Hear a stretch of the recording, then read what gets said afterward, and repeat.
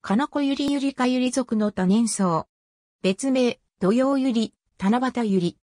分布は、九州や四国、愛媛県や徳島県の山間部、台湾北部、中国、厚生省に自生しており、九州で最も自生密度が高いのが、古式島列島である。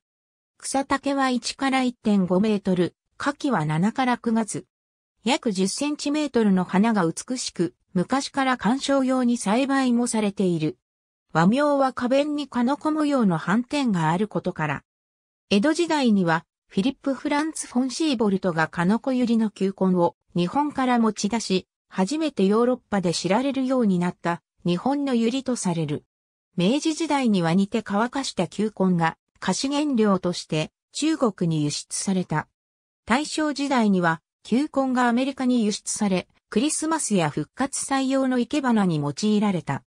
戦後には海外で観賞用花としての需要が高まり、高度成長期には良質なユリを生み出すための品種改良が行われたが、1970年代以降には海外での需要が減少した。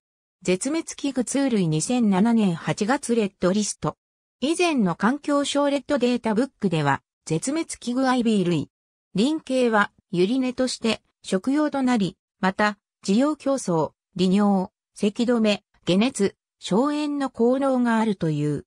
古式島列島の島民は、天命の飢饉の際に林系を食料とし、太平洋戦争中にも林系を掘って食べたという。荘厳、慈悲深さ。ありがとうございます。